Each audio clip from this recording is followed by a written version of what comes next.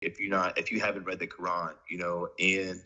you know, Allah, he, it's it's he, Allah made it so clear, you know, with everything in there, and and it's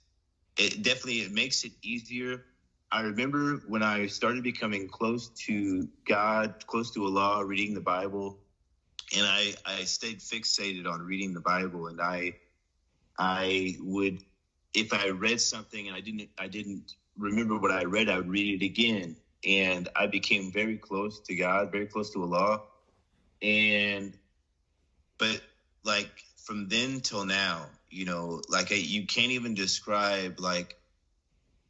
how Allah changes us. You know, like if you had asked me whenever I was 19, 20, if like if I ever felt like not, you know, going, never drinking or never listening to music or never,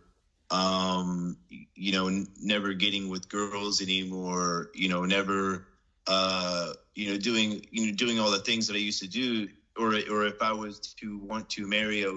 a woman with, you know, one of the headscarves, the hijab, you know, uh, if you'd asked me then, I would have, you know, I would have been like, no,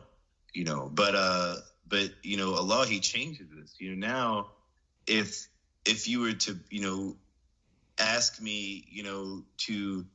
to drink, like, you know, the stuff below, like you, you couldn't, I don't think you could put a gun to my head to, to, to, to want something like this, you know, or to want to listen to music, you know, now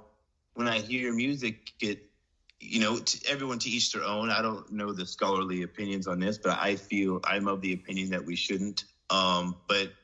we, it, it, it, it's, it's a, it makes me feel uneasy, you know, and